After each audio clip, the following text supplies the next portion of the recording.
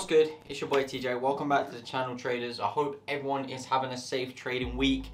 Back with the daily content. As I said before, you can't stop me now. Trust me. My mindset's times 10,000. I've got goals that I want to achieve. And that's what I'm going to start with. How to actually be successful with trading Forex because I see so much of these videos when I'm doing my React channel and when I'm looking around I'm thinking yo these people with the Lamborghinis and stuff they're not they're not showing it organically. They're just showing their perfect lifestyle with their fake brokers and fake withdrawals, and it doesn't doesn't quite make sense. And when you when you start to investigate into other traders that you see, and it is one of those things where seeing is believing. If I went and kept posting my car kept posting high amounts of profits. For example, I'm in a trade right now, minus 2.5k. You know, that's fine a lot of people they just take losses after losses after losses and they don't show organicness. So i want to teach you how to actually be successful. Five tips five tips to help everyone that's watching right now advance into becoming a better trader but also a better person. Trading and this is what i've learned it, it's a mind game. It's a, literally a mind game against yourself. You're battling against the charts as well but realistically it's just you it's your own self. The devil inside yourself can either destroy you or ruin you. And there's two different types. Destroying is when you hit a sell. Ruin you is when you start getting the credit cards out. You start getting the loans out. You start you know, losing prop firm challenges within the first day, within the first hour. There's self-destruct mode. Now, without further ado, if you are new, subscribe, like the content if you enjoy, watch till the end, and yeah, let's start these tips off, baby. Woo! First tip, and this is the first most important tip. You have to understand that you're not going to make it within the first year, within the first two years, within the first, you know, two and a bit years. And if you are going to, you've either got to be grinding every single day, watching the charts. I swear on my life, when I started trading properly, I woke up at 7 a.m. and I was looking at the charts till 10 p.m. That is unhealthy. It's an unhealthy way to trade, but I did it. I did it. I grew my socials. I grew my trading strategy and I learned how to view the charts. Now, I don't advise doing this. Most people have job. Everyone's got shit to do in life. I get it. Don't have to look at the chart 24 7, but you need to have the right guidance and trust yourself. Now, you're following all these people or just yourself in general, right? So yourself in general. So this is why yourself can be your biggest enemy. Now, you're going in to a trade, you have belief. But the problem is, it all depends on the time of the trade, what session you're trading, how the how the markets move. Is there going to be any news? People don't look into this before entering the markets, right? So it's 16, gold to 1651. The time is 10 to 11 in the morning. Now, your psychology, now I only learned this because I've been training for a long time. Your psychology, if it's going to sell off, it has to sell within the next few minutes. Otherwise, it's not going to sell. Because when you're looking at the 1H, you have to end bearish or you have to end in some sort of... If you're in a sell, it has to go up, then come back down. And it's a bit like ICT. Um, if you haven't looked at them sort of strategies, look it up. But, you know, they're all similar. Like the smart money concept, price action, supply and demand zones. All of this sort of thing with trading, it all boils down to one thing. Market directions. Where the price of a trade is going to go to. Now, a lot of people over risk and that can be a big problem. But a big problem is entering into the markets at the wrong times. A lot of people enter in during a 1H bearish candle, they'll enter a buy. Wait till the next candle, wait till the next 1H, because if you can wait until the one, next 1H, it's gonna come back and retest. Only on news, you're unlikely to see a retest. You'll see a wick out, and then that's it, it's gone. The other way, change directions. That's manipulation. One key thing that I learned is looking at when you're actually entering the market with time. That is number one. Start doing that and start judging yourself on why am I going to enter at 58 minutes past one? Why am I going to enter just before a new hour opens of a session which is New York and it's going to be explosive, impulsive? You, you shouldn't. And it's gambling. And once you start observing timings on these markets, I trust me, your trading will get so much better because you'll understand how the markets is noise and the timings when you get the right timings on certain trades it's just you just finesse the system because in the end of the day you're seeing you're seeing the fake the fake buys you know you know you've got two minutes left you know trades trades gonna go up come back down go back up then come back down again so you're just gonna wait you're gonna wait because you're gonna see some wick out. And that's it. People over risk and over leverage. Getting in at the right time is just the most important thing about trading. So let me give you an example for this trading strategy. When you're looking at gold on this phone, okay, you're seeing the 1H pull back, wick below lower highs, and then this 1H come up to retest previous lower high on this candle pattern here. If you guys can see that. Now, we know it's 10.52. It's 10.52 in the morning. Because this trade has already gone up, the huge bearish engulfing candle here at 9 a.m.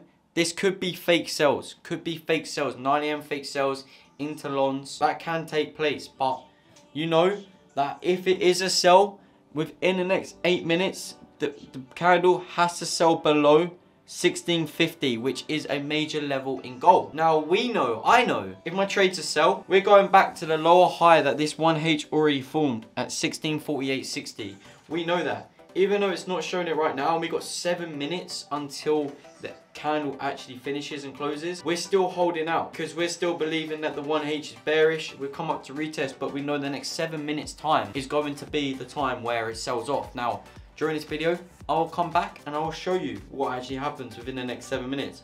But if I am correct with timing, I know that we're going to see a nice big sell-off and then it continue to bearish engulf down. Let's see what happens. Moving on to the next one. Probably the most boring one that everyone fucking knows and no one does. But I'm going to tell you why it's important, but how you need to change your mindset. And that's all it is. To people watching right now, you need to just take the information in and just do it.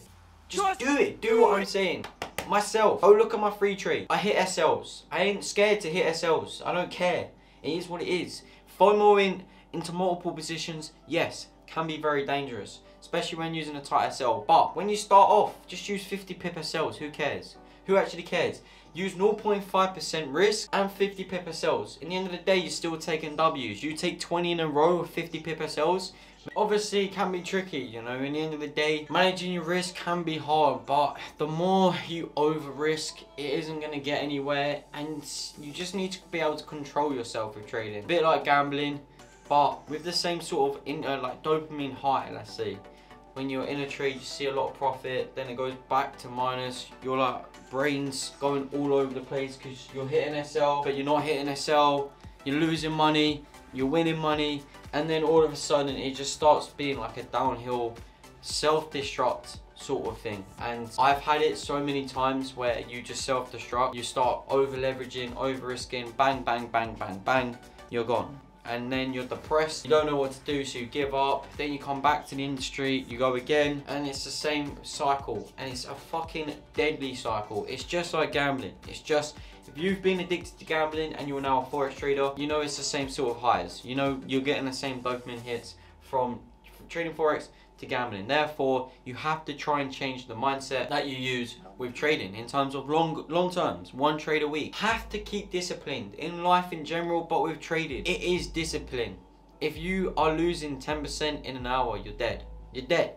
If you're losing 5% in a day, you've got a problem with yourself. Like, facts, you have a problem.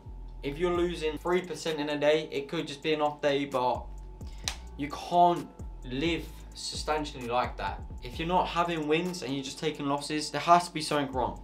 And it could be your trading, but most of the time, it's not even people's tradings because trading is all about longevity. It's about taking your time, hitting the trade slowly but surely. But when you're looking back on your, your history for the month and you're seeing 50 plus trade, you know that that's not trading. And that is the difference. There's a massive difference between gambling and trading, which a lot of people struggle to actually comprehend because they don't want to admit that they've got a problem with gambling instead of actually trading. And this is where it goes wrong a lot of the time for people, even like myself when I first started, like hand on heart. I remember putting in like a thousand dollars, getting it to 10, 20 grand, and then, you know, just goes the wrong way.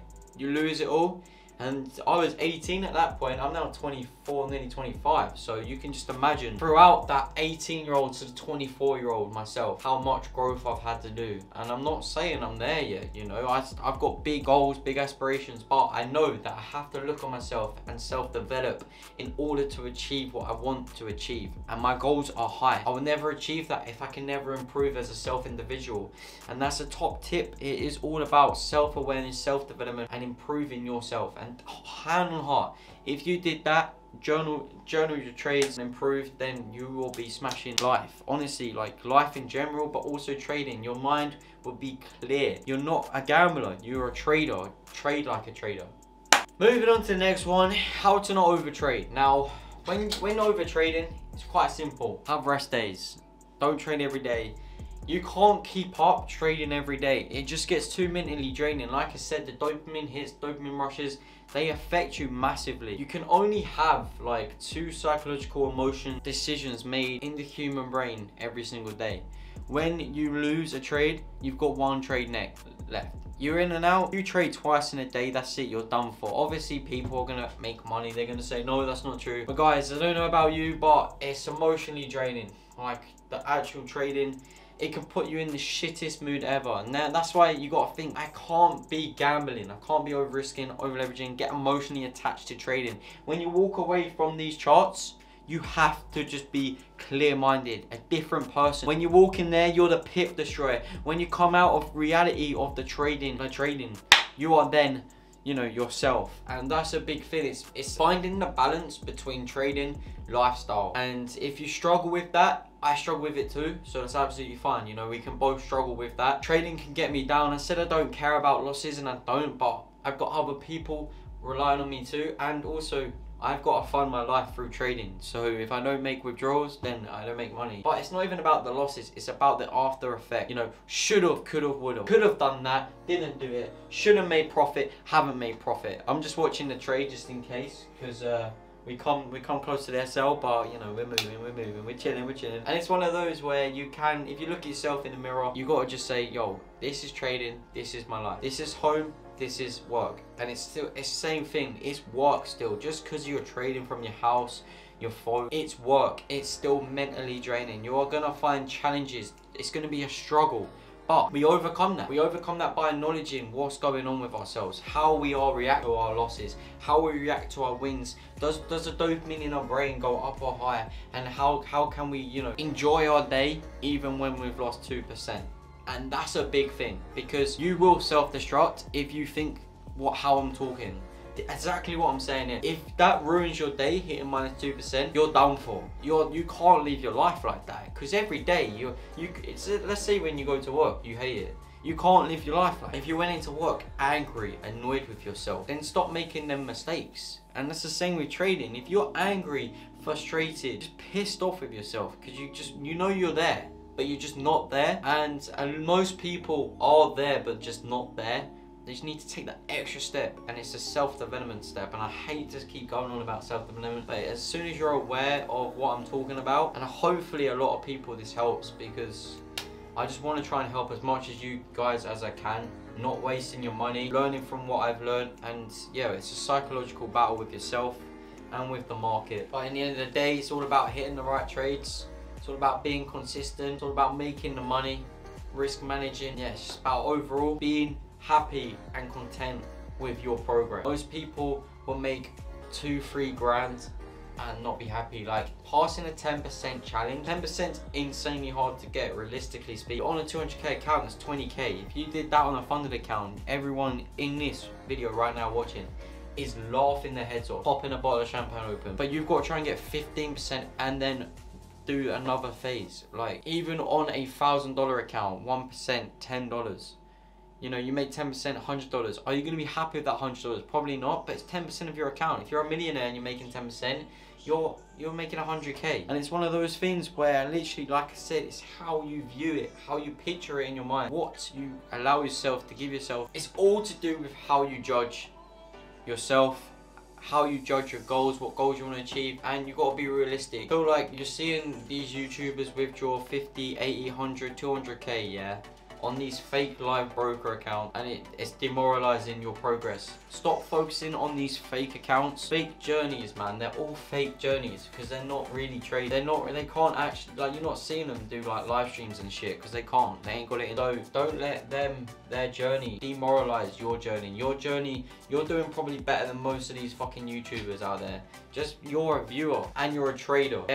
You know these people flashing their lifestyle and stuff. Like I just don't want you guys to get upset and like I said, demoralized. I don't want you guys to get demoralized from watching fake gurus post high amounts of money, supercars, this, that, this, that. It's unrealistic. There's a reason why they're doing it. Come on. You see it, you believe it. Look how many people, when they're desperate, it's, it's, it's too easy for them. But allow that. It doesn't matter. Fuck them. They can do whatever they want. At the end of the day, you can't let it demoralize your progress. Don't look at them and think, I'm not there yet. I need to be there. Because they probably aren't even where you are, if you understand what that means. They, who's to say they're better than you? No one.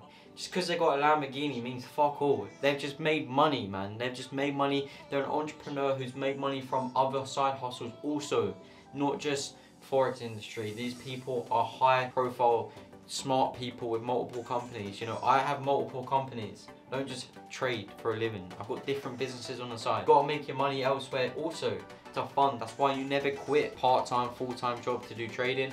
I did both at the same time It was difficult, don't get me wrong. Ain't gonna be easy, but if you want it, you want it. If you don't, that's fine.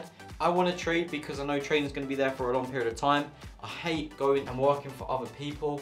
I'm learning a skill that I know is going to benefit me in the long run. And when I'm learning this skill, I'm using no one else's signals. No one else helped me. It's all organic, all me, all my own trade, all my own anatomy. So therefore, I'm just hitting W's every single day. Now, if you are new around here, subscribe, like the video. My trade hasn't hit SL yet. It's close though. It is close. Probably will hit a sell to be fair. I need to change the graph as well. Allow. Allow because I know the graph's sad. If I'm honest with you, we're 100% probably going to hit SL. But to minus 1, I've got two entries for sells and buys that I'm waiting for. Right now I'm just trading noise, see if I can make some profit before my buy limit or sell limit gets in. And right now I'm going for the sells, so fingers crossed that actually comes in. Join up the free trades, you'll probably find out on there. I trade all my trades for free. Who needs a paid group anymore? Not me, because I make too much money trading Forex now, so I don't even need a paid group, so join up. And I appreciate your support. I hope this helps. As I said, I'm going to keep dropping videos and try and support and help as much you guys as possible. And also myself, I like speaking in front of the camera to viewers. And yeah it just helps me a lot as well. It gets my gets things off my chest. Like i said the self-development and all that sort of stuff. Like and subscribe. It's been your boy tj i hope this has helped. Until next time catch you guys in a bit. Peace